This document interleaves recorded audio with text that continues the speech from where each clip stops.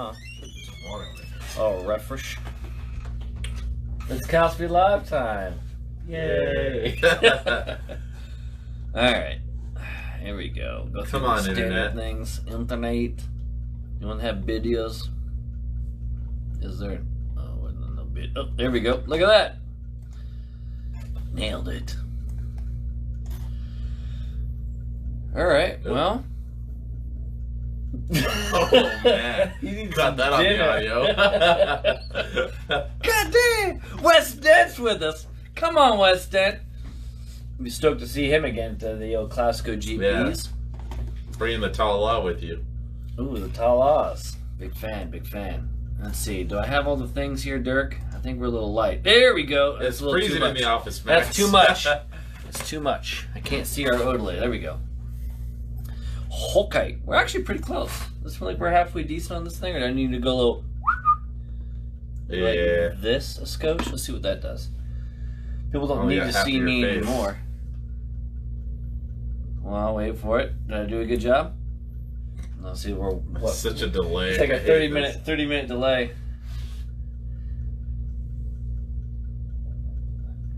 Oh man.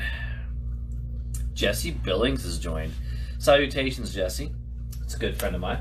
Nice. Mike Gonzalez is here. The Sarah Bantai hanging out with Brian Williams. All right, we got some peeps on here. Seven of them. Oh. Christopher Johnson hanging out with us. Like we got, we're getting coast to coast around this thing. Well, seven people on here just in the first couple of minutes. I think people are starting to remember that we exist. Yeah. Just Burry. Seven episodes in. is it seven? No. It's It's almost. This is number Is seven. this six? I think it's number seven. Right, because you got uh Oh, this is seven. you got the recap, right? Season recap in December. that. Woo. Seven episodes in. Nice. Nice. My math is We're almost syndicated. yeah. Alrighty. Well, get out of here. Okay. So, why don't we just make this thing a smidge larger here, Dirk, so we can see what the heck's going on? What do you think about that? How's that grab you? That. That's what my dad always says. All right, we got Spencer Russell in here. Good to see you, Spence. That kid had a, a good weekend. This is Yeah. last weekend. Got P4. Nice job, Spence. Eight people hanging out. Luis Calderon looked real good at the Ironman until those pits got him. It's a little bit too hot. Hey, Luis, I forgot to tell you. Um, you know, I say Luis or Lewis back and forth on a regular basis. Yeah. So, Well, pick- that's pretty your response to both. So. uh, even Miles Calvin once put in the fence, Lewis. So there it is. Oh yeah. So you got hey, good company, bud. Uh, why don't we uh, why don't we get rolling this thing nice and slow? Like um, obviously uh, Cal Speed Live here for the month of June. Uh, thanks you guys for hanging out with us. Uh, what are we gonna do? We're gonna talk about all kinds of things. Uh, first, we're gonna say hi to Brian Armbrist.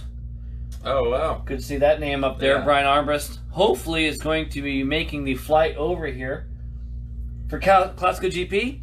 No, he's not. I doubt it. I, doubt- I highly doubt it. But I'd love to see an Armbrist on the entry list at Classico.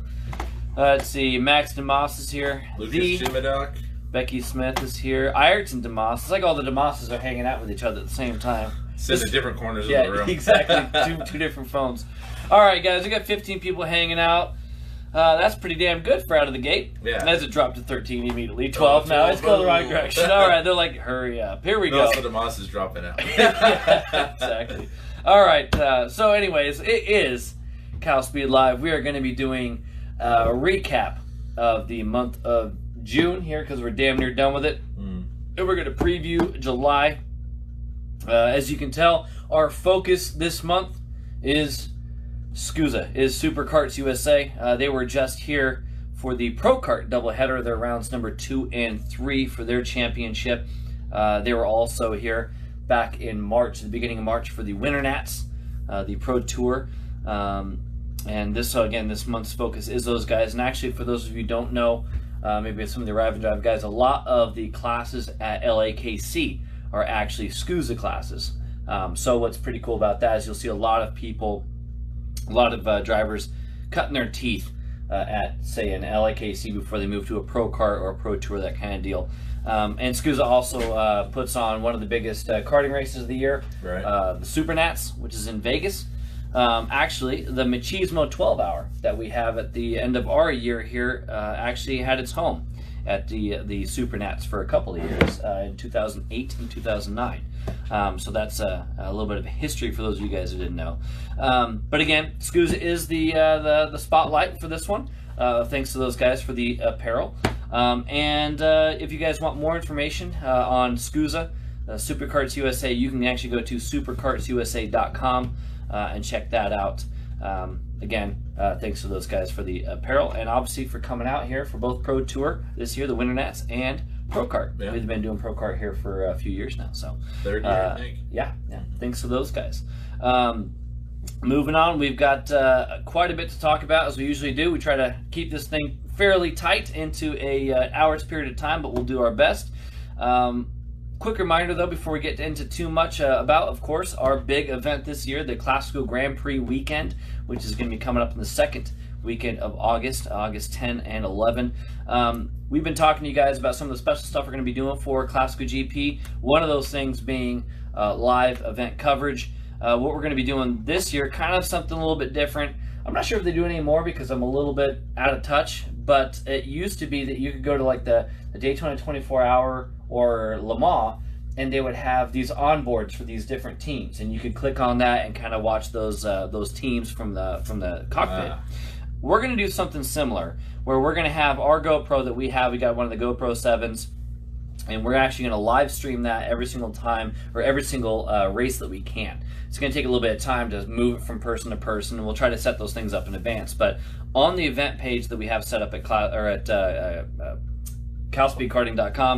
if you look at the event page, you're going to eventually see links to official drivers that we're going to be looking at if you have your own uh, live stream capability, uh, GoPro, or I know there's some other ones that have uh, like the what do you call it, the Yeah. 360 cameras, Oh, those yeah. kind of thing. There's a few that have the ability to live stream. If you guys would like uh, to do that during the Classical GP, let us know, and we can add you to the list so people can follow. I know, uh, for instance, um, oh gosh, Ivan uh, Martinez. He's got a live stream capability. Uh, I know that's right. Patrick Britton has got that same capability. So if you guys are like, hey, I'm going to do the same thing, we can have links to your YouTube account or what have you on that page as we go into that event. So just a shout out to you guys. If you have the ability to go live stream, oh, uh, Michael uh, Gonzalez, another driver, I think has done that before. So let us know. We'll add you to the list uh, and uh, just more and more coverage that we're going to be having during that Classical GP weekend. So it should be pretty damn cool. Um, but like I said, lots to cover. So let's uh, jump right into the recap side of things. Sprint Series, round number six, kicked Yeah. things off at the beginning of the month. Um, and actually, this entire month has been kind of one main theme, and that's been first time winners, uh, first time podiums, first time everything. Yeah. Um, and excuse me, those guys kicked things off right away with a first time um, pole position, and that went to Adrian Jones. Uh, now, one of the interesting things about the sprint series was actually they were not on the technical course that the rest of everybody was on. They were on the temp course. Right. Yeah, the temp course was actually uh, put in place so that they wouldn't be on the same course twice. The way the track uh, layouts lined up, it was actually uh, technical for about a month and a half, and then after that, we switched uh, to Grande Counter, which we're on currently. So we didn't have the arrive and drive guys on the same car or excuse me, the same track twice. We went to this temp course, which is basically short beach that we use a Grande Counter and Technico the rest of the way.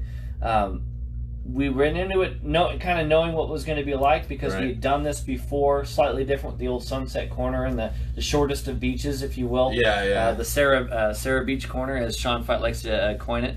Sarah loves that. Um, I can actually hear it right now. Um, but uh, a, from from my standpoint, actually, I thought the racing was really good. It kind of has more of a old school indoor feel because it's as tight as it is. Only 42, 43 second lap, so it was, it was quick. I was actually really surprised, and uh, we'll get more into Super Series later. But the first few laps of the A main for Super Series are actually really good. Um, Mm. it's it's still track's still 30 feet wide and all that, but it's you still have one corner right after the next, and the racing, it's kind of you really gotta. you can still develop passes in a timely manner, but Mhm. I think majority of them are a little bit more late moves and whatnot. Yeah. Regardless, for the sprint series crowd, it was still a really good uh, race that we had for for all the uh, main events, and it actually worked out really good. I was surprised to see how clean people were able to get around the track and whatnot. Yeah. Despite that, still had a decent amount of lap traffic throughout the day. hmm Is sprint series crowd. There was some people still trying to figure things out, Right. but the track is a hell of a lot of fun to race on. That's yeah. for sure. Yeah, it's like you said, it's it's it's quick, it's fun to race on. Um, you can still make passes and stuff like that happen, but it's it's tight. You Yeah. know, it's it may be thirty feet wide, but things happen so quick. Right. Uh, things develop uh, even quicker. Um, and like I said, Adrian Jones scored his first career pole position. It was pretty damn cool to see him.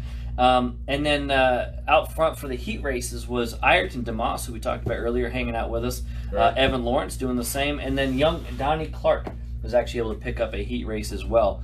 Um, and then when we got to the uh, when we got to the A main, it wasn't too big of a surprise to see the you know the core drivers, the guys who've been at the sharp end Yeah. most of the year, out front again. Um, and actually, it was uh, a series point leader and recently crowned Winter Series champ in the Sprint Series who moved into the second spot, um, but he wasn't able to find enough to beat Donnie Clark, who was able to pick up his very first Sprint Series win. He's been close before. I think he got a second either this year or last year. Donnie Clark did. Uh, was able to actually pick up the win. And uh, Evan Lawrence, who was having a, a phenomenal day, uh, he ended up third. Uh, one interesting uh, uh, fact to point out: Hmm. second place for Redmond, his fourth in a row. In a his row, yeah. fourth second place finish in a row for Tyler Redmond, who ironically ended up doing it again this last weekend. Yeah. So, and, and, uh, Tyler Redmond's really used to P2. I'm sure he's going to be wanting a little bit more than that. There are worse things you can be used to, though. yeah, I'll he's, tell a lot of hard work for Tyler Redmond, and actually a pretty solid point lead at this point as Yeah. well, being as consistent as he has been. So Tyler Redmond P2, Evan Lawrence third, but first career win for uh, Donnie Clark, which is pretty damn cool. Especially when we found out afterwards he was going to miss the next two rounds Right. because that uh, bit of surgery he's got to have. But, he'll be uh, back in uh, round nine, I think. Like Tyler's one of the guys we expect to see up there. Obviously, leading the points, but he's been the most uh, consistent. Evans actually had a few runs at the uh, the top three, top five uh, lately. Um, He's been Really he's- breaking out lately. He's pulled has. his, he's pulled himself together, got his pace right. The uh, the first few runs up with him up front were honestly first time for a driver run up front. Mhm. Few mistakes, ended up falling back, but didn't make those same mistakes this last round. Was able to hold on to the top three. Yeah. Um, and Donnie's just had enough experience. I think it was him really putting the day together and not getting himself in a bad scenario on course where he was able to stay up front as well. Yeah. So Tyler still being the guy to beat, but it was really cool seeing Donnie um, get his win finally, and Evan finally landing the podium. He's been trying for for the last few rounds. Yeah, like you said about Donnie too. Actually, I talked about him in the preview, and it was like he's been so close, and he's had Yeah. either, like you said, either mistakes or maybe a dumb mistake like weight or whatever. Yeah, oh Um, man, But he's been right in there, and yeah, it was a long time coming for him. Uh, really cool to see him get it done. Um, like we said, Donnie Clark first career win sprint series. That was pretty damn cool. Uh, before we carry on, though, a couple people I want to shout out at. We see uh, Derek Zimmerman jumping on here. That's a guy I want to race with again. If he wasn't so damn small. oh man. If uh, Zimmerman, going to Masters. I don't need anyone else to see here. I'd love to race with him, but uh, he's Yeah. tiny. He's tiny. He needs to go to McDonald's more or something. There, Zim. Brian Mossman on here. His kid Frankie's having a, a decent year as well. yeah. Uh, Aleo Fernandez. That's someone I have not. Uh, I've not seen that name in a long time. Uh, it'd be good to see him come out here and play. Trisha Thibodeau from Tri C's on here. We're actually be uh, spotlight uh, Tri C Karters next month. So make sure you guys check out that. Mike Casino, I know from uh, back east. He is a VLK regular. Used to work there. Uh, well, at least he used to be regular. I think he does a lot of autocross these days. Mike Casino does. So good to see some different and uh, new faces on here as we roll on through. The next thing that happened for June was the Pro Kart doubleheader. Um, obviously, like we said, SCUSA is the focus this uh, this month. Um, it is the it was the second weekend in June, and it was all SCUSA. They had rounds two and three of their championship. A Friday practice followed by rounds two on Saturday and round three on Sunday. And basically, their program being a, a practice, a qualifying, a pre-final, and a main uh, is what uh, SCUSA does for their deal. and it was a pretty damn warm weekend. I mean, it, it was I want to say real close, if not actually in triple digits. That I think it was hovering right around 100, if not just below it all especially on. Sunday. Yeah, Yeah, I mean, picks uh, figures it's the the three day event that's gonna have the hottest weekend that Right. month, you know. But and it's it's one thing to to race in the hot weather, and it's one thing to have one day of practice in the hot weather. But when you got three days of racing, it's that much more energy burn and whatnot. It's it was tough conditions, especially with how the uh, the track came into play and how much grip there was. Oh man, know? yeah, you, and actually you can still see it now. We were actually Yeah, talking about it today. Uh, we had part. to run over to uh, the Rock Oxnard to pick up some berries and whatnot, and we were just talking about how much rubber there's still on the on the track. There's stacks of it in certain spots. So much rubber, probably the most I've ever seen during that weekend. So we have the uh, now we have Grande counter in place for uh, Mm-hmm. this month's circuit, but or excuse me, July is coming. But um, uh, they were on Technico, and our sport karts still go through that first S we now call Short Beach, and we've had a good two weekends on that that uh, that corner now, and there's still rubber laid down from Pro Kart. Also, you still see the uh, the Technico hairpin, all the rubber's there. That's going to be there for a while. We're not going to be driving on that anytime Right. soon. And then also the sweeper going through the center of the course. Um, they, there's just a dark ribbon going across. So if you stand Yeah. up top, you'll still see all that rubber. Yeah, it's crazy. And uh, Mike had a chance to. He was able to race in a pro kart this uh, this last month. But I mean, what was your thoughts on how the tr- track progressed and where it ended up and all that? Well, I think what you just said there about it being you know, how it progressed. You know, with the, the grip that we had on Friday, while it laid down pretty good, it just kept getting grippier and grippier and grippier. And what I was talking to people is on Saturday, it was stuck. Like there was a lot of grip on Saturday, um, and you you kind of had to back things up a little bit, but it was consistent. You know where you were going, you knew where it was going to be, and it was it was just grippy Right. on Sunday, it just kept laying it down. And I remember uh, my run group, uh, KA Masters, was a bit earlier in the in the schedule, Yeah. so the track was one way then. Well, you had all the the big shoes, you know, pretty much after that. And when I went out for morning warm up on Sunday, it was black, like Yeah. really black, and I'm like, holy And it's crap! not a traditional morning warm up. There's grip. Right, You're able yeah. to go drive it pretty hard right we away. went through the S's and like on top of the curb was black and also the kinds of stuff Contino, the Yeah. concrete corner was black. But what the the interesting thing was is that there was so much grip. Actually, they it felt like you would be moving on top of the surface a little I bit. remember you mentioned At least that. with the KAs where we're using the blue tire, the uh, the harder of the two tires. sits on top of the surface a little Yeah, more. yeah, You've got the Evinco blue and you got the Evinco red, and uh, the red, the the shifters, the X30s, those guys are using. They're laying down a bunch of that grip. But the blue, we kind of would sit on top, and actually, the first lap or two, we would pick up rubber. Oh So you go on the on the out lap Just and even lap one, enough, yeah. and we don't have heat in the tires yet. So for the first couple laps, you're just flinging rubber off your tires. You're just cleaning them off. So that was pretty damn crazy as far as the yeah, you got a lot of grip, but then on Sunday it went it wasn't greasy. It was just like you felt like you were kind of on top and it would just move like if you missed the corner. So yeah, anyway, track conditions, grip level, pretty nuts that weekend. Um, certainly a challenge for both the drivers and the tuners alike, trying Yeah. to figure out how to get around all that Stay kind of stuff. of. Um, and the guys I was talking to in the paddock said it was, like I said, it was a challenging weekend. Um, but uh, like we talked about, uh, kind of a month of firsts. Um, a couple of firsts that I know of, anyway. Uh, one was uh, Billy Musgrave picking up both the X30 senior win and the Pro Shifter win in the same weekend uh, in the Pro Kart Series. I know that he's been uh, like pushing for that for a while, and I saw his Facebook post that he finally was able to win both of those in the same weekend. That was a pretty big deal for him. Billy will tell you he's not a tag driver, and he's he's gone in. He's always been competitive, but man, he's had some bad things come his way, whether it's on track incident or equipment failure, whatever it may be. Mhm. But man, he had the Mad Croc, and to his credit, brand new chassis. He's had some uh, experience with the tag uh, chassis before, Mhm. but between that and the um, excuse me, the shifter chassis, he's had to kind of develop both quickly. I think from looking outside in, but man, he had the tag card on rails. He was the guy to beat all weekend. Yeah. He'd get out front and just sit there, and um, he actually had the uh, the shifter class covered. It Mhm. looked like. But I went to talk French to him. was close though. I think French got him on qualifying on Sunday, but yeah. but yeah, Uh, French ended up qualifying. Jake French, yeah. But um, and Bolt another Mad Croc driver, but Billy ended up staying in front for the uh, the pre final on the main. But it was funny. I go up to talk to Billy on the Saturday podium.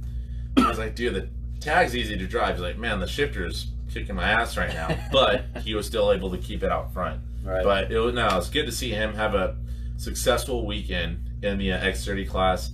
He didn't have as good as luck on Sunday with the main event. right. Actually, some contact on the start ended up forcing him and another uh, front runner, Christian Brooks, off the track.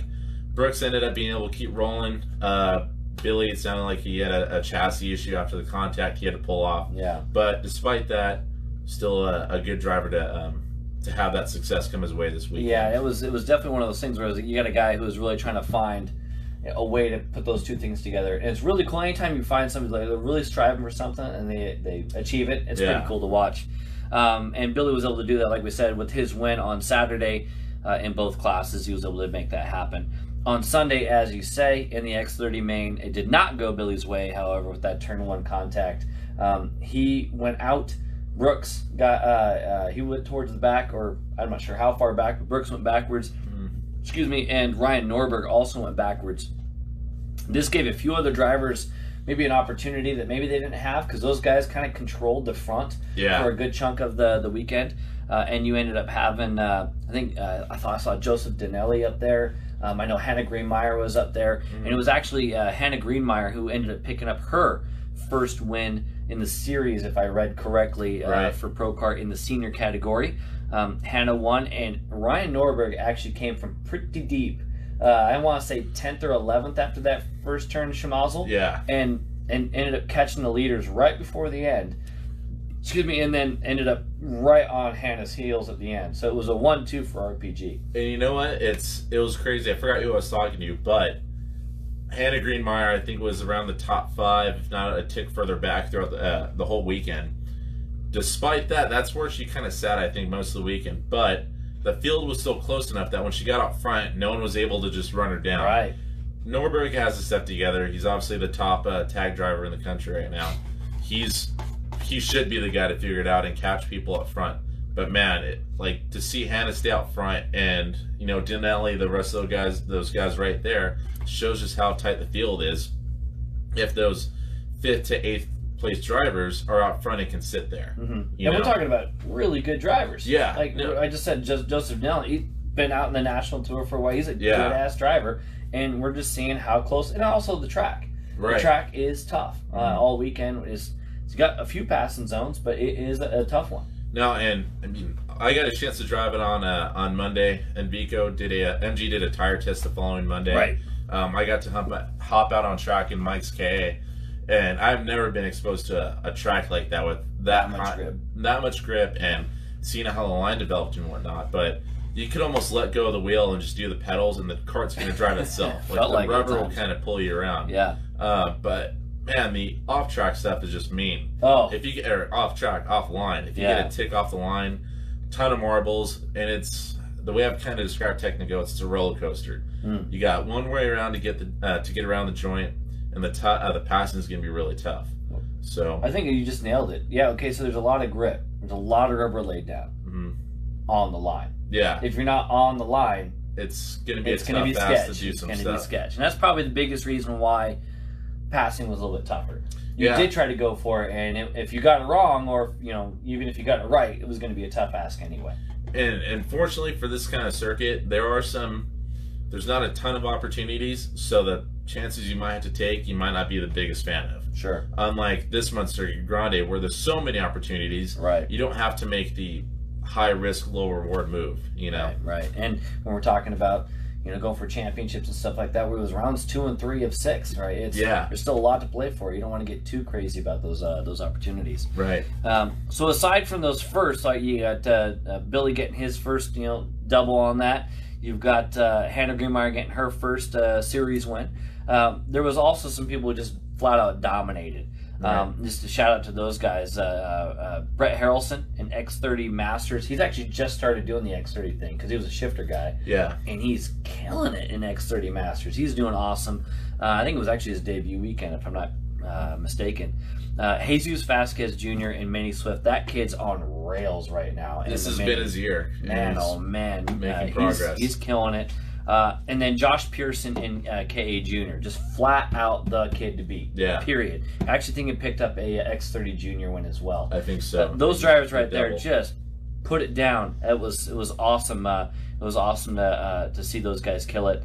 Um, and, and again, for, for me, I'm a little biased because I like to see people from Cal Speed do well. Yeah, you know, 100%. Pearson, Pearson's not. I love seeing uh, Vasquez do well here and elsewhere. Obviously, Harrelson's been doing well in the shifter, um, and uh, it's cool to see those guys do well, do well elsewhere.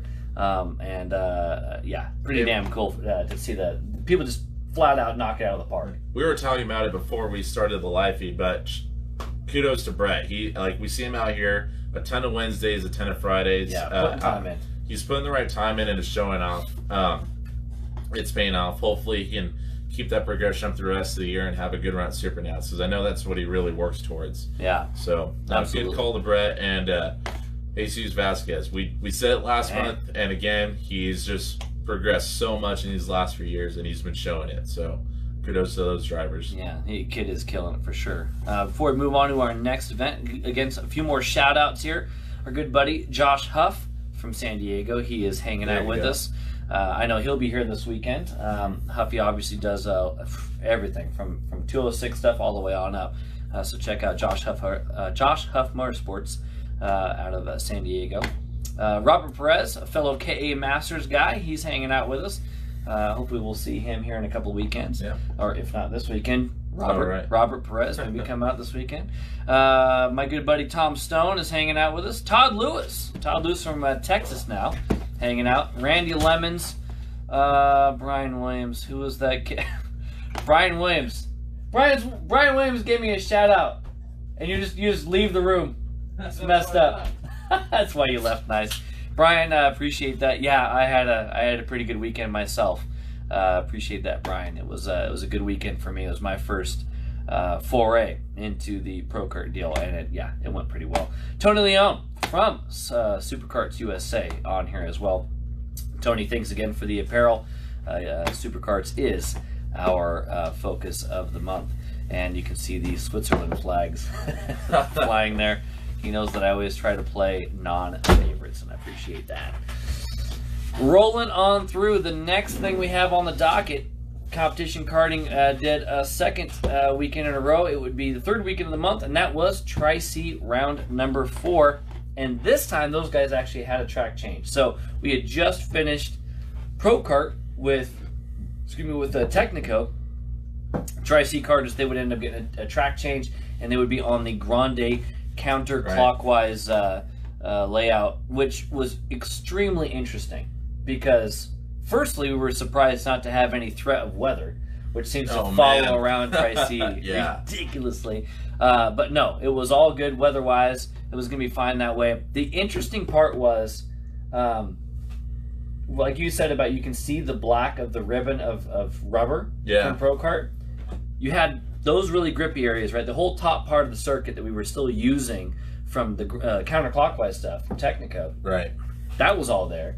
But Long Beach wasn't used. Horseshoe. Horseshoe wasn't Yeah. used. Silk. Uh, Silk wasn't used. and actually, the to entry to hairpin. Yeah. yeah. And then to that point, the entry to hairpin. Well, the entry to Contino, Oh, right. because of how the rubber worked, the entry also. If you So took a sleepy line, it didn't work. If you went diamond, it actually worked pretty damn good. so thank God it was all the fastest corners on the track that, that we hadn't right, touched right. yet. Yeah, let you go through. Uh, you go through horseshoe, and the first part's got some grip. You cut in center, it gives up, and at the end it goes ahead, Yeah. and it cuts Yeah. right on the uh, on the Technico exit of the hairpin. And that was actually pretty neat because you'd go from slick portions of the track or more Right. free, but you'd go, you could actually throw it pretty hard in the carousel. Like you said, you'd feel it catch, and then yeah, off for no, it. you hundred percent. So it was interesting to to kind of feel the differences there. I got a chance to drive a 206 and a KA on uh, on Friday, a Friday testing, a Friday practice for for K or for uh, Tri C. I think you got a chance to run the KA a little bit that day. Yeah, Um, so it was really interesting where that grip was and where it wasn't. The drivers had a hell of a test to, to try to figure that out. But uh, um, besides that, man, I'll tell you what, racing was badass. dude. It was Yeah, freaking fun to watch, man. I, I, I'll tell you what, I we're obviously focused uh, with the CSK Racing Group. We're focused with you know the 206 stuff and the KA Yeah. stuff, and by all means, if anybody's watching who was here or whatever, throw it out there. Um, If there's any other good races or whatever that you saw, dude, absolutely. Uh, but I'll tell you right now, I'm gonna I'm gonna focus on three of them. right? and yeah, they were all the ones that we were paying attention to. Yeah. But 206 senior, it was uh, it was Dakota Tate and Riley Dugan, Yeah, right? Those guys pretty much had everybody covered. There was battle royale going on behind them, and some great racing going on. But those two guys pretty much had it covered. I think Riley had one heat win, and Dakota had the other one. I believe so. I think it was yeah, Dakota had the second one. Uh, but then it came down to the end, and again Tate and Dugan, and it came down to the very last complex. Well, and to before you say that, what was funny was we're watching the race, and I believe we see Dugan out front and Tate further back, and then two laps go by, and we're watching our guys battle for a third, and then we look back to the front, oh shit, what happened? And it's Tate back in front of Dugan. At this point, he caught and passed him, and yeah, coming up to the final corner. Uh, yeah, go ahead for this, this Well, last few seconds. Yeah, I mean they came up here and it was it was uh, Dugan out front, I believe, right? I think it was Dugan out front. Tate Tate goes, goes for, for the the inside, and he gets it done, but he goes in a bit deep, and it was like the perfect over under from Dugan. Yeah. He just clears him by the bus stop. Badass move from from Tate. Great over under. It was great racing between those two Yeah. guys. That was a badass race to watch. Uh, for for me, I mean, probably the best week, uh, best race of the weekend was the 206 Masters guys. Dude. Now, to be fair, Yeah. it did end with the three CSK guys out front. We're talking about uh, uh, Jose De Silva, Lucas Jimmy Dock, and Sean Bradley. But it was a badass race. Yeah. And not just the main, the heat races. I mean, even uh, further back, I want to say the first heat race had Jose De Silva on Jasinski, I want to say. They made that, that sweet maneuver going into uh, Oh, into bus three? stop. Yeah. that Yeah. was freaking sick. It was a badass move there. Uh, I'm saying badass, like it's freaking awesome. Um, it was cool to see those guys get after it like that. Yeah. And uh, they continued on through the, the heat race, second heat race, excuse me. And then in the main, it was a back and forth between Jose De Silva and Lucas Jimmy Doc. Uh, Lucas has won the last two races. Josie won the season opener in the wet. Yeah. Um, and, and he's been close. He's been right there. He had a mistake a round or two ago. Two rounds ago. Round No, round was, ago. no, was last, round, yeah. Uh, but not this time. Actually, uh, De Silva was awesome. The uh, the Masters group has gotten so aggressive, Oh, and I yeah, they like, have. and it's all good. They they're doing stuff uh, from our standpoint on the sidelines. You know, totally legal. Everyone's still racing, leaving each other room and whatnot. But man, it's it's kind of neat because you're seeing them push the envelope a little bit more and more with each other. At the end of the day, it's still the older guys, you know, in a 206. So a lot of them are it's their second or third year, so they're kind of like, all right, this is what we have, and this is what I know I can do. So they're Right. starting to get more comfortable with their equipment and being around each other and whatnot. And we're seeing that happen more and more each round. Yeah, The uh, yeah, the masters class is a ton of fun to watch for 206. yeah. Uh, and to lead into the other uh, senior citizen group is the the KA Masters group at Tri C. yeah, Those guys are a, a great group to watch as well. It's a pretty deep field yeah. especially this last round, we saw a few um, few other guys come out that are, aren't regulars uh, as much. Paul Bonilla obviously does a lot of tri C. Haven't seen him as haven't seen him as much lately this year. Uh, Brian Phillipson was able to come and jump out too. We haven't seen him in a go kart in a while. Mhm. And then also Tim Meyer. Tim Meyer, another uh, another hundred cc guy that does some uh, X thirty Masters. Yeah, and, and the show that Bonilla and Meyer put on in those heat races. Oh man, that was awesome. Yeah. we were talking about two cats who've got regular national race experience. Yeah. right? So like our guys that we're talking about 206 Masters, yeah, it's Masters and whatnot, but they're fairly new to the game. right? These two cats, Bonilla and Meyer, they've been doing this They've thing been for around. a while, and they've you know run over Europe, all, all this other kind of stuff. Couple of badass shoes and just duking it out, and it was a hell of a lot of fun to watch. they pretty much had the um, the heat races covered. Right. Um, do, um, excuse me, Phillipson and uh, Bonilla. Further back, uh, Perez unfortunately got a, uh, a ten grid spot penalty, so he had to start from the further back the beginning. I of think he did it on purpose. yeah, trying to have a little more fun. Can't really blame him. That did look like fun, but good he eventually made his way up. Was uh, there in the. Uh, we'll get to the main event, but um, him, our uh, our own CSK driver Mark Connell was in the top five most Right. today, as well as um, who else am I missing? Steve Mark. Jasinski. Jasinski, thank you. Yeah. he's right in there, baby. that guy. It was it was an awesome show. So all those guys putting on a hell of a show. Um, I got to give a little bit of a shout out to our guy Mark Connell. Um, he ended up having to leave early yeah. because of a flight deal, and it was what it was. Hope you had a great time in Hawaii, Mark. Hope it was a blast. But you know Uh, what's funny was uh, Dana Estes come up comes up to me during the um, this 206 senior race. He's like, "So where'd Mark go?" I'm like, "Oh, he had to catch a plane to Hawaii." He's like, "Oh, he's a smart one." He's like, "Dan's like, when you get paid to doing this shit?" He's like, "I want to go too." So Yeah, rough life, Mark Yeah. Connell. He got a chance to go relax. Yeah. uh, last week or so in Hawaii. But yeah, did what he could. Didn't have enough time with the way the deal was rolling, so he had to cut out and go to go to the airport. Yeah, But KA are still a great race to watch. Um, Robert Perez ended up getting the win in it. yeah, at the and, end of the and day. huge shout out to Perez because Yeah. to your point, he had the big grid spot penalty. He I think was the was it the the drivers drivers meeting. Yeah, pinch yeah, Robert Perez. uh, yeah, yeah. So he'll make sure he doesn't do that again. Uh, but to go from to go from that pretty much in the back at the beginning of the day hmm and end up being the guy. I mean, I actually was on track for the main, and I got a chance to see those guys duking it out. It was Perez and Bonilla up front challenging for that W, and Perez came out on top. I think Perez. I I mean, dude, I'm a Bonilla's got I don't know 30 years on me, and I would still like be really stoked if I could go out and beat him. He's still Absolutely. a wheel no matter what he drives. Absolutely. So I think it was really cool for Robert, one of the local guys, to go up against that national competition and, and take the fight to him and come out on top. So Absolutely. and it was awesome racing between the two of them. So Yeah, for sure, for sure. good day at Tri C Karters. Not at all. Not not bad at all. Uh, next up on our list is the Ironman Super Series round number six that just happened uh, this uh, this last weekend. Um, and again, like uh, Sprint would be back to the temp course. Um, and like we talked about earlier, really, really quick lap 42, 43 second Yeah. laps. We knew going in that traffic was going to be a big deal. Mm-hmm. We got 30 go karts on course. Right. So traffic was going to be a thing. Uh, and we figured that we would see some alternate pit strategies. There's not a lot, at least out of the front runners, there's not a lot of early pitting going on, Right. right? We will see that a little bit further down the, the, the, the chain, but not from the usual suspects, if you will. Right. And this time, uh, actually, it was pretty uh, pretty split between early and late. But I will say, yeah, okay, there's a lot of traffic, but everybody seemed to handle it pretty damn good. Yeah, and I think that was the nice part about the um, the Ironman compared to what we saw later on in the sprint series. But traffic thins out. You're just cutting laps. There's a Mhm. lot less racing going on. Yeah. You're a little bit more accepting of getting. You're not gonna be happy you get hung up for that one corner, Right. but you can accept it a little bit more.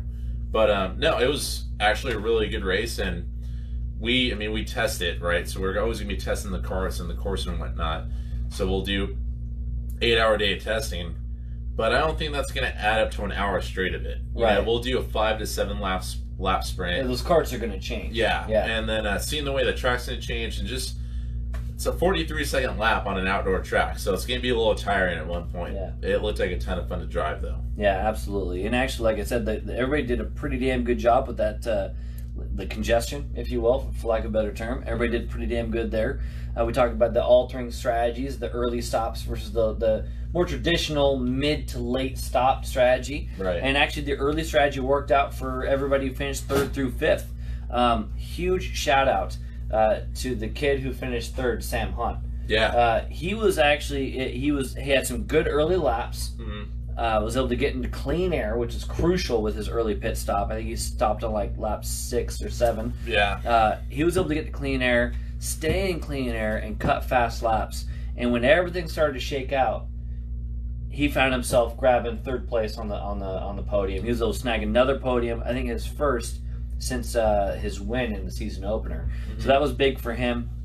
Uh, and uh, the two guys he was chasing were pretty far up the road.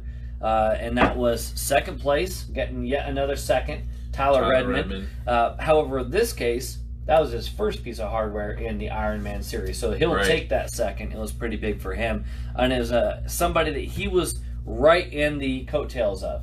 He stayed right with the guy who ended up winning, and that was the Winter Series champion and current Ironman Series point leader, Paulo Franco. Yeah. And you know what? It's funny to hear that Paulo's leading the points after how many penalties he's had in the pit. Kid's Got- blood, he's fast. Yeah.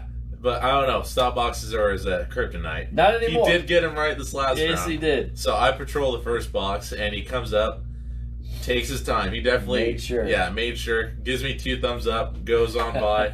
came around a little bit later for a second stop. Did the same thing. Two thumbs up and went on by. Yeah. So Now, it, Paulo Franca, is, like you said, Kryptonite, what have you. The thing that was holding him back was the pit lane, and it all had to do with like how he he, he thought that he just had to have the front wheels behind the cones. uh, uh, No, uh. full kart. Anyway, he has been one of, if not the driver to beat in the Ironman series. And this last weekend, he gets his very first series win in the Ironman series.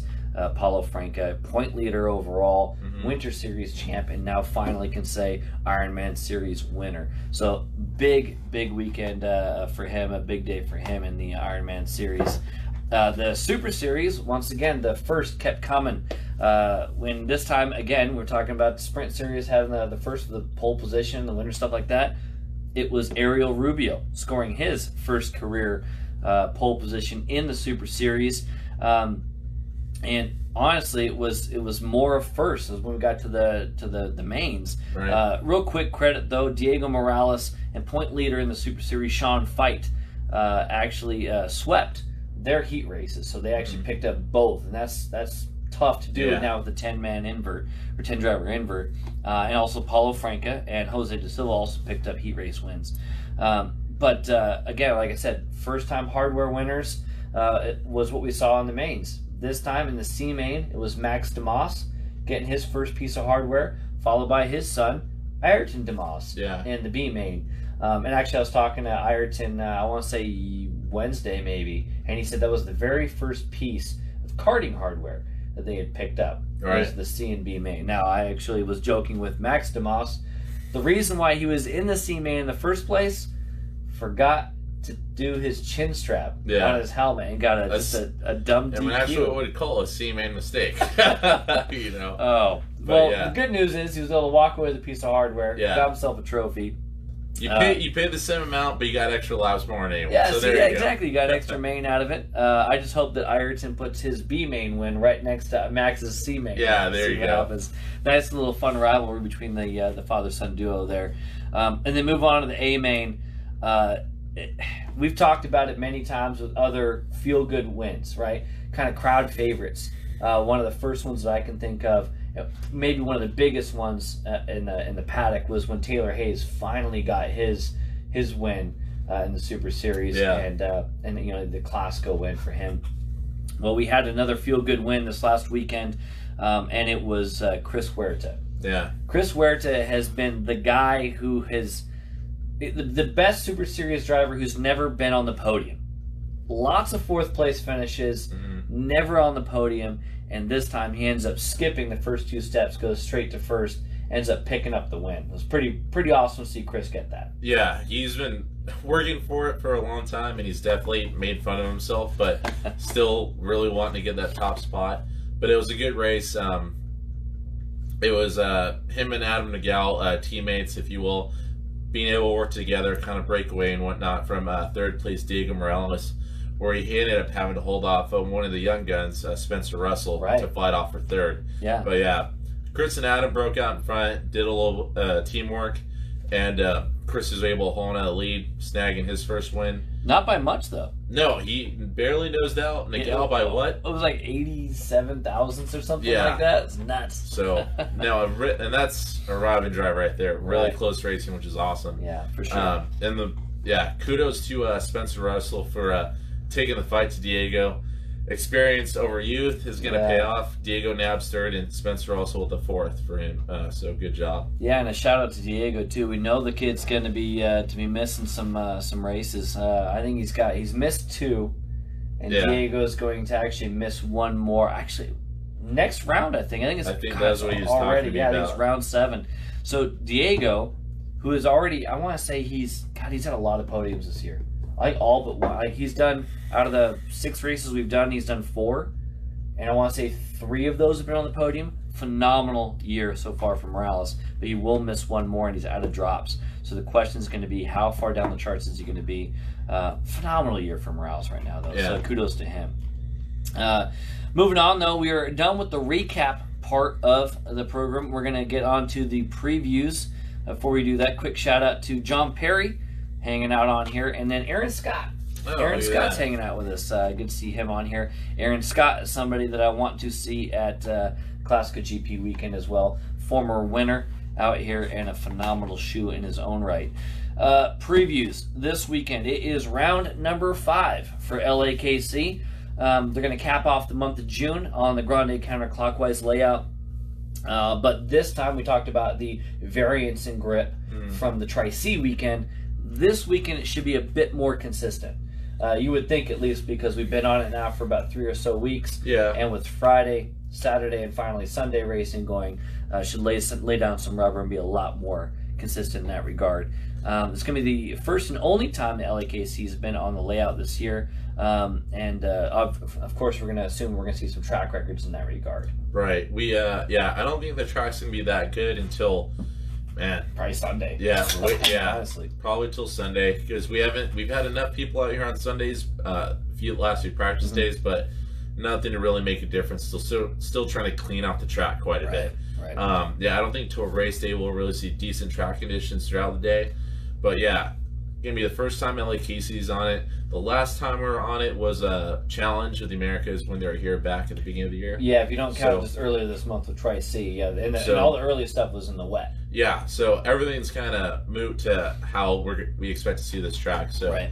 I'm really excited to see um, how this track races in the dry and, Yeah. and the tag stuff and whatnot. Yeah. So And we got a chance to see some great racing in both the 100cc and the four strokes and whatnot um, at, uh, at Tri C. Mhm. But to your point, X30 seniors, uh, the shifter guys, you know, this is a pretty racy track. So Yeah. it's going to be interesting seeing now the track's, like you said, more cleaned off, get some rubber down. Let's see what we can actually see uh, for Grande counterclockwise instead Mhm. of, you know, wet and kind of changing conditions. Um, this actually marks about the halfway point for them. It's round number five of their nine race season. Um, and after the brief threat of weather last month, this weekend Yeah. looks to be perfectly in the clear. Should be all good there. Um, and like I said, about halfway point in the championship. Uh, I took a brief look at the points. The X30 classes are close. Yeah. Uh, junior, senior, masters, extremely close. We're talking handful of points. So those championships really, really tight. But obviously, all up for grabs if you think about it. There's round five. There's still five paying rounds for points with one drop. So all to play for. And I was, of course, I think looking at the uh, before drops totals. I don't think after drops, but I have to double check that. Uh, regardless, points still all up for grabs. X30 classes ridiculously close. Going to be interesting to see how things shake out this weekend. Uh, next weekend will be Tri C round number five. And actually, we'll- Already. yeah, it's God. rolling. This year is rolling through. Uh, we're going to have a track change on Tuesday. So once again, the the first drivers or the first people on the new course will be the Tri C group, and that will be on the Nuovo layout, the last of the uh, the new sections, if you will.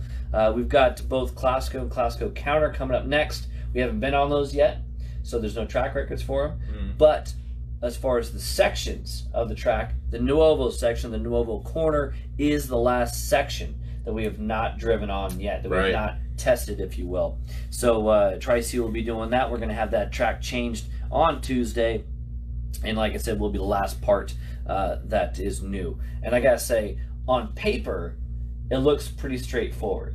yeah, But when you go out there and you stand at the top of the hill here and you look and you start walking down the hill towards Nuovo, it doesn't look quite as straightforward. I think maybe a little bit of a later apex, a little deeper into the thing. It's going to be interesting to see how we take it. And it's and this is a, a shout out to everyone that plans on practicing. Get yourself out of the autopilot Mm. uh, because we've seen that a lot with the top of the hill corner, turn five. yes. With the uh, exit, a few people turn in too early and they're still thinking about the old track. Yeah. Um, I know it's going to be an issue for me when I first go out for testing and whatnot.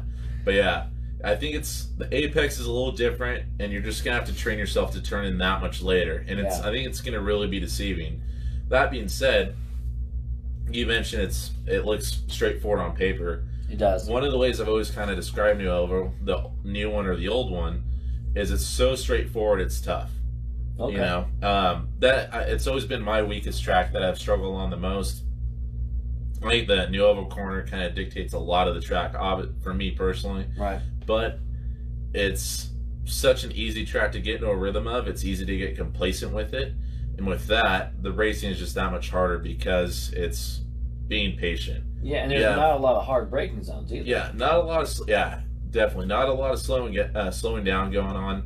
So it's really trying to make sure you're going to make the the one move right and make sure it pays off for you. But as far as driving, I think it's easy to just get lazy on the track, if Yeah. you will. Well, that's gonna be like I think you made a, a huge point about the don't have the autopilot turned on hmm because what what it is based when you when you guys go out there and you look at it, the apex that was the old hairpin, which was essentially the inner part of the Nuovo turn, Right. and we had the first part, which you've got Sportivo that goes this way and Nuovo that keeps going. Well, now you've got this other hairpin curve that's come out. Yeah, So if you take the exact same line, you're going to be right into that you're going to hit the curb. Yeah, So I think what we could see is we could see some people either having to turn a little bit later, like I was saying, or have a later apex. It's deeper into the corner for you cut. or we might just be slowing down more. You know, it could Absolutely. be that because there wasn't a ton slowing down on the old circuit with how the the apex was. So Right. maybe uh, we're just gonna have to wait and see. Yeah. you know. What I'm curious to see is what's going to happen racing wise. Because it's now a little sharper, we're carrying a little bit less speed. Are we going to see possibly better passing opportunities into Silk? Are you going to be able to make a move into there? Because you still have to carry the speed through Silk down the back straight. Right. or are we going to see a little more over under going on in the silk section? So, the nice thing is, it's our last new piece. It's all what if statements, and there's only one way to find out, and that's to go out there and cut laps. And the first person we want to send out is Brian Williams. the- Brian Williams, He's get gonna be the first guy to uh, give us the data. Absolutely. like to see Brian chiming in here. But so yeah, the Tri-C cars, they're going to be the first ones on it. We're going to uh, put the, the track in place on Tuesday. We're open for practice on Wednesday. And obviously we'll see Friday practice followed by race day for Tri-C on, uh, on Saturday.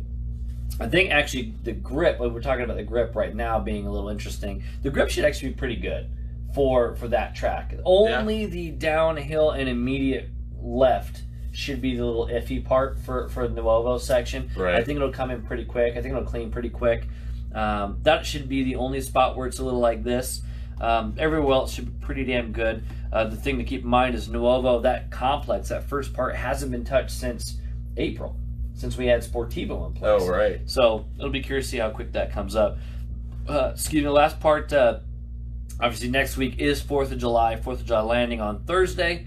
Uh, and I'll tell you, if I know Trisha from Tri C, she'll probably have something fun planned for the club in some Yeah. way, shape, or form. Uh, if I remember correctly, I want to say they said there's a barbecue lunch uh, on Saturday. Don't Right. quote me on that. Look at Tri C Karters uh, Facebook page. Trish, if you're website. still on, Tr- Trisha can yes confirm or deny uh, the barbecue lunch. I'm pretty damn sure that's what she said it was going to be. Mhm. And like I said, uh, Trisha likes to have fun at Tri C, and we'll do all kinds of weird and fancy stuff. There it is. it's a what? Snow cone month. That's an S. Oh, I- snow cone. Yeah. All right, July is snow cone month. All right. So So we'll get snow cones. there you go. Snow, snow zones. Snow zones. And there it is. Barbecue lunch. So Trisha nice. coming in through. So you guys, you got snow cones available, and you got barbecue lunch available at Tri C uh, a week from Saturday. This week in LAKC, next week in Tri C, and barbecue and all kind. That's that's absolutely what you should be doing. They all the mechanics are going to be asleep in the afternoon It'll be alright. after this. Perfect. So Tri C is going to be a good time. they got the extra heat race to digest. That's right. That's right. Uh, all right. So after that, we will have a sprint series, uh, which will actually be the second weekend of uh, July. Sprint series uh, round number seven, taken to the track on July 13th. And unlike practice days, and kind of like what we just got done with the temp course, you're not going to see the exact track we're going to race on on practice day. Sprint series will take to the Nuovo Tivo course, which is basically yes, it starts out as Nuovo, but finishes with the Monaco hairpin on the back straightaway, uh, which is what we come from uh, Sportivo uh, circuit. right. We do this kind of the same reason why we have the uh, The bypass corner. yeah, for for the uh, what you would call it for the RPMs. Uh, to try to keep those RPMs down to make sure we don't blow up a a bunch of stuff at the end of the straightaway. Uh, yeah, we're gonna have uh, the Monaco corner. So again, the only time to get your time in to get practice, the clinic, sprint series, 10 Man. That's gonna be uh, the only time you can get on that course uh, will be Sprint Series going to be on uh, July 13th. Uh, make sure you guys jump in on that. Um, again, the only time you can get the uh, the seat time is going to be uh, on those days. And and to be honest with you, I'm actually really looking forward to it. Nuovo has Yeah. always been like my least favorite track. It's always been meh. Yeah, Yeah. I mean, it's always been our uh, super speedway, right? Right. In the in the arrive and drive carts, it's damn near flat out. I mean, when especially in the summertime, it was full throttle. The old this is old circuit. Yeah. It was full throttle. It could potentially be full throttle from start finish, all the way to the Contino entrance. Yeah. Braking there, braking for Long Beach. It was like a 93% on throttle time in the summer. Yeah. Ridiculous. It was like, like we said, our super speedway, Daytona, Talladega, pack racing. We don't know exactly what we're going to see with the new Nuovo I'm- corner, I'm really excited for that. but Monaco follows it. So we're going to have a high speed, hard braking scenario, and we should see a ton of passing. Yeah, it's a it's a braking zone, but it's that much harder than we'd have to do in Contino. Right. And, And- more than we would see on Sportivo, you would think. Oh yeah, no, definitely more speed being carried in uh, the Monaco hairpin. I I just I'm ex- I'm stoked for that circuit. I think it's gonna be a ton of fun to drive. I think the other thing that's going to be interesting too is if you think about how we come through Sportivo in the in the arrive and drive karts, Mhm. it's right on the bottom. It's on the Yeah. bottom all the way around, and then we work our way over to the left. But if you think about how we used to go through Nuovo, and you open up a little bit on exit, at least to the blue line, and then you cut down. So that means the defense and then open is going to be a little bit different. So I'm really, really excited to see if we make some moves. Uh, if we make some moves going into either silk coming out of the Nuovo section, like I was talking about with the competition karts, or absolutely there's going to be passing going on in that Monaco hairpin. Well, I think the other part's gonna be neat too is it's a still decently uh, long circuit, Mhm. but it's you're carrying so much speed for most of it. The laps are still gonna go by pretty quick, so I think Yeah. that's gonna add a neat aspect to it. Absolutely. So that's going to be a sprint series. Uh, again, the first time that we're going to be on the Nuovo Tivo circuit this year, and that will be uh, July 13th. Again, uh, it's going to be clinic, su- uh, sprint series, followed by the Tin Man. If you are a Super Series A main type, you got two shots of practice there. That is the clinic and the Tin Man. Once we get to the third weekend of July, however, we're going to be back to the competition karting scene, and it will be LAKC on course, their first and only time on Nuovo as well. Um, obviously, uh, Tri-C will be the next weekend, uh, and they're going to be able to put the first laps down. Uh, excuse me, but uh, I'm really, really excited to see what we're going to see out of those tag and and faster stuff like the 175 shifter. Oh, yeah. KC. I mean, it, the Nuovo course came into being for shifters in the first place to kind Right. of get rid of a first gear corner back in the day. Um, that's how it came about.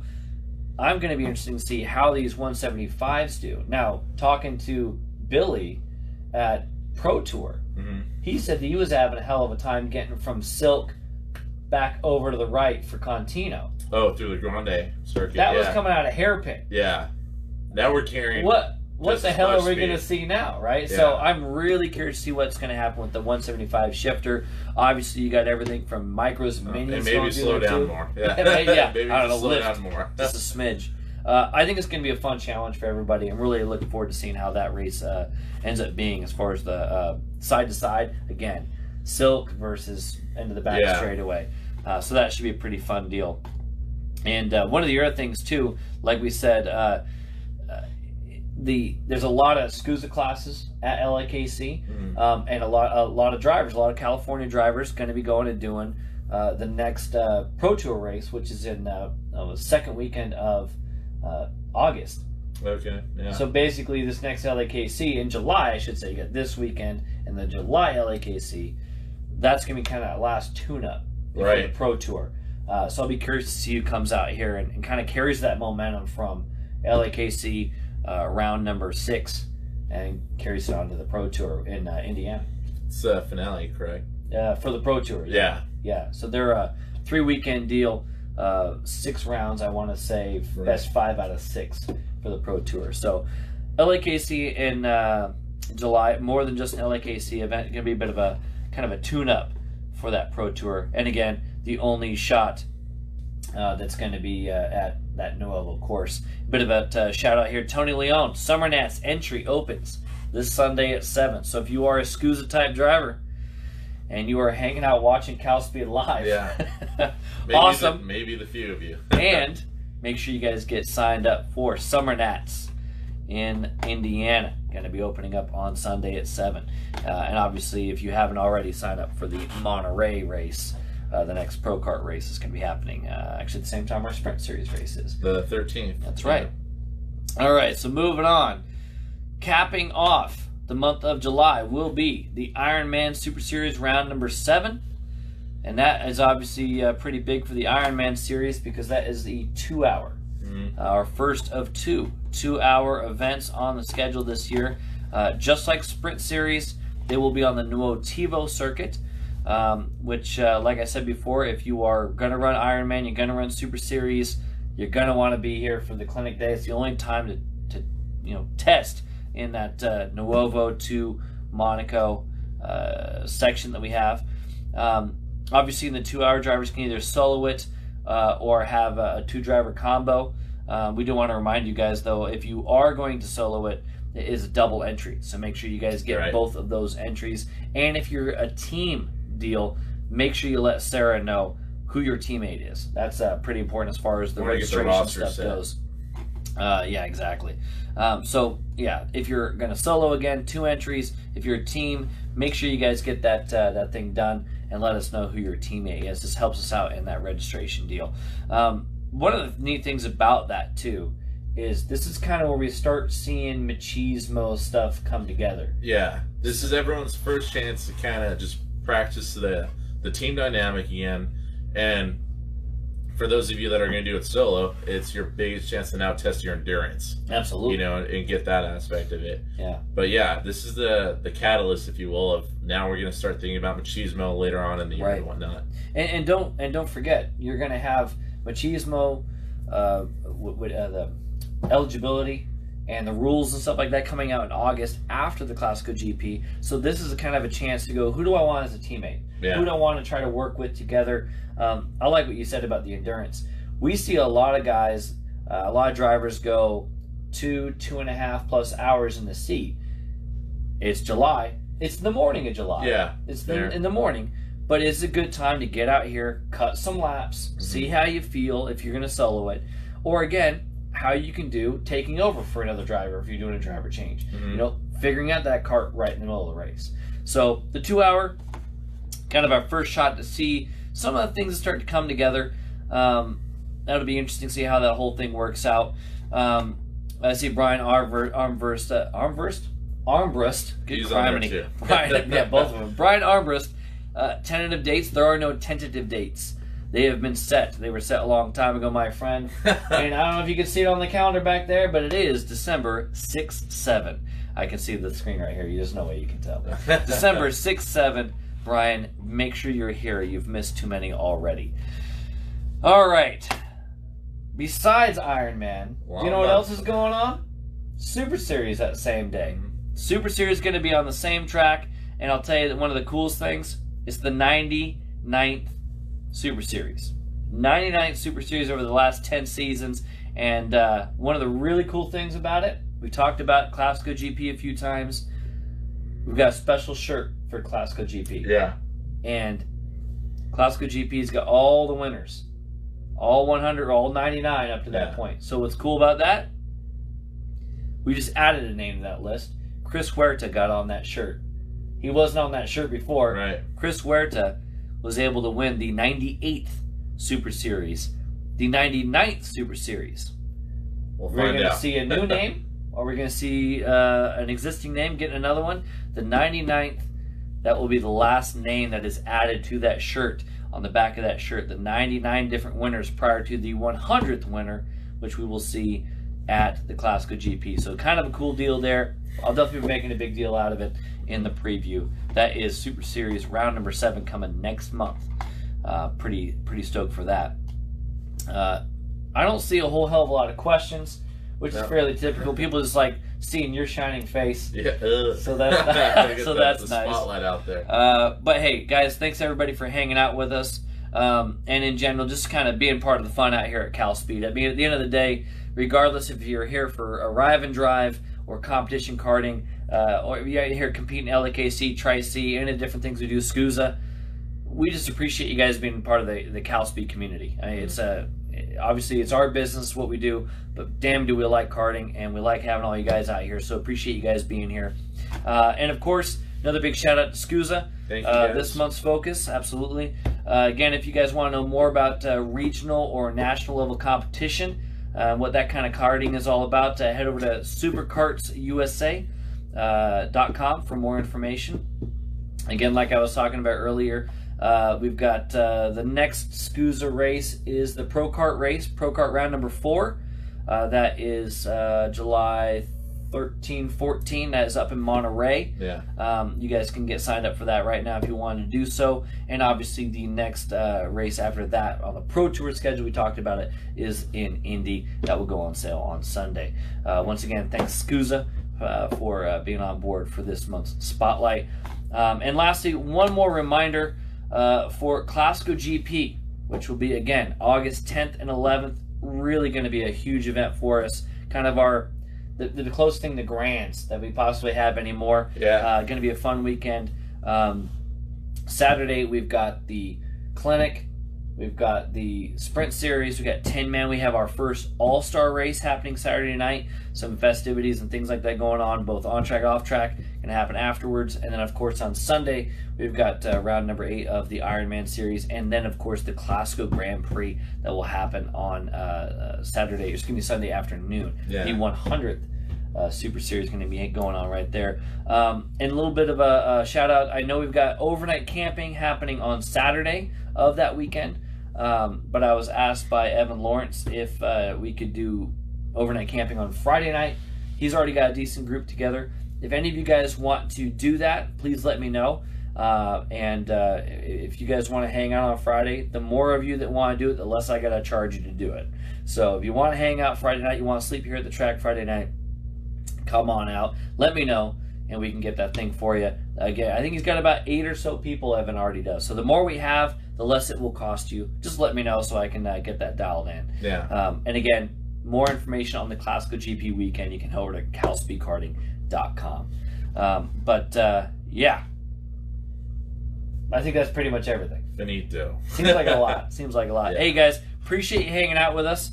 Obviously, uh, a lot to, to go over every uh, every time, uh, and you guys always hang out, and we've been pretty much in the teens the entire time. Not bad. You Yeah. like us. You really like us.